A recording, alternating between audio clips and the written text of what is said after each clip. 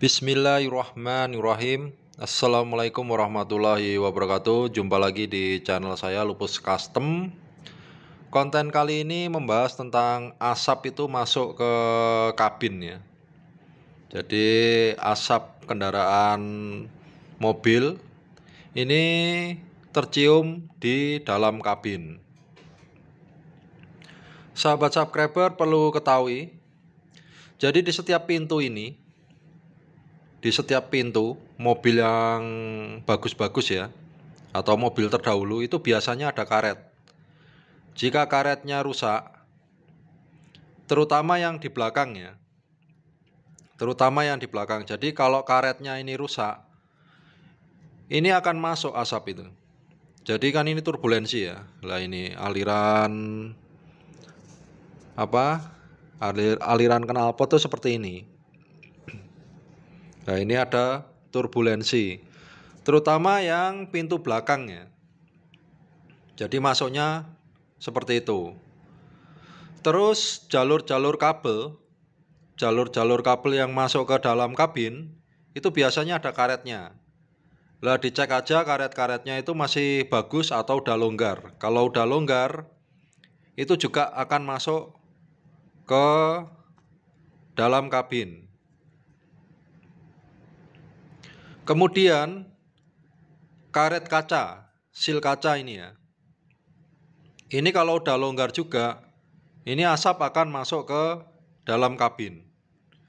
Di sini juga kalau mobil yang ada kapnya, yang depan, itu dicek aja semua perangkat yang masuk ke dalam kabin. Itu pasti ada karet-karetnya. Nah itu dicek apakah terjadi kelonggaran. Kalau terjadi kelonggaran itu asap akan masuk ke dalam kabin. Karena dari pabrikan itu sebenarnya semuanya itu udah ada karetnya. Dan biasanya kalau masih baru karetnya itu rapat. Tapi kalau mengikuti umurnya, umur pemakaian, itu biasanya akan terjadi kelonggaran atau karetnya pecah. Seperti itu. Kemudian sahabat subscriber silakan cek knalpotnya knalpotnya ini ada yang bocor apa tidak. Tapi kalau karetnya ini aman semua, karet pintu, karet kaca, langsung kayak lampu gini, ini juga ada karetnya biasanya.